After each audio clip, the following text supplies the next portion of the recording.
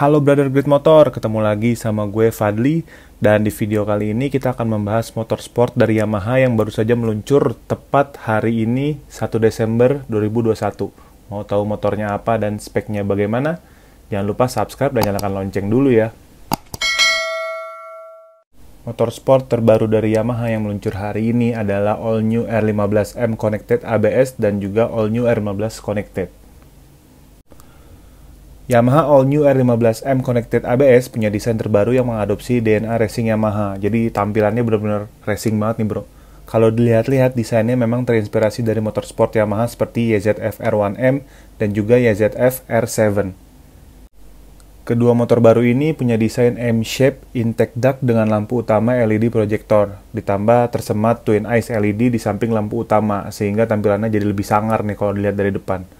Dengan desain ini, Yamaha All New R15 Connected diklaim lebih aerodinamis dibandingkan generasi sebelumnya. Desain body fairing ini juga diklaim bisa meningkatkan akselerasi motor sampai menyentuh top speed.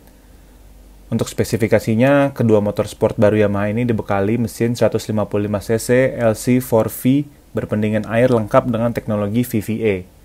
Mesin tersebut mampu menyemburkan tenaga 19 dk di 10.000 rpm dan torsi 14,7 Nm di 8.500 rpm.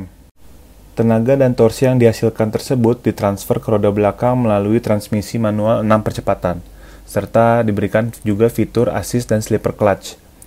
Selain itu, kedua motor baru ini juga dibekali fitur Yamaha Motorcycle Connect.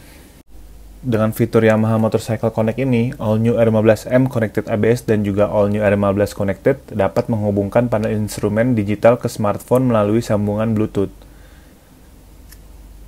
Tapi ada yang harus diketahui nih bro, All New R15M Connected ABS dan All New R15 Connected memiliki beberapa perbedaan fitur. Seperti rem cakram dengan dual channel ABS yang hanya ada di All New R15M Connected ABS. Selain itu, All New R15M Connected ABS juga sudah dilengkapi dengan traction control system dan engine cut-off ala Moge. Satu lagi fitur yang nggak ada di All New R15 Connected yaitu Quick Shifter.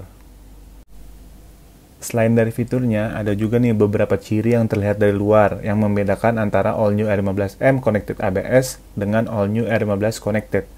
Misalnya seperti triple clamp atau segitiga ala motor, ba motor balap YZR M1, kemudian panel instrumen digital mirip YZF R1 dan juga jok bermotif karbon spesial. Selain itu dari pilihan warnanya juga berbeda nih. Yamaha All New R15M Connected ABS punya pilihan warna yang keren banget, yakni Icon Performance dan The Racing Blood of Yamaha.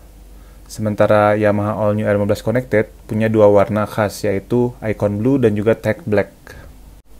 Terakhir dari harganya, untuk Yamaha All New R15M Connected ABS dibanderol 43,5 juta, sementara All New R15 Connected dijual dengan harga 38,9 juta.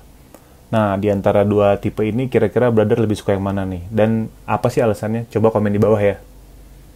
Oke, segitu dulu video kali ini. Kalau suka dengan video seperti ini, jangan lupa di like, komen, dan juga di share. Sampai ketemu di video-video selanjutnya.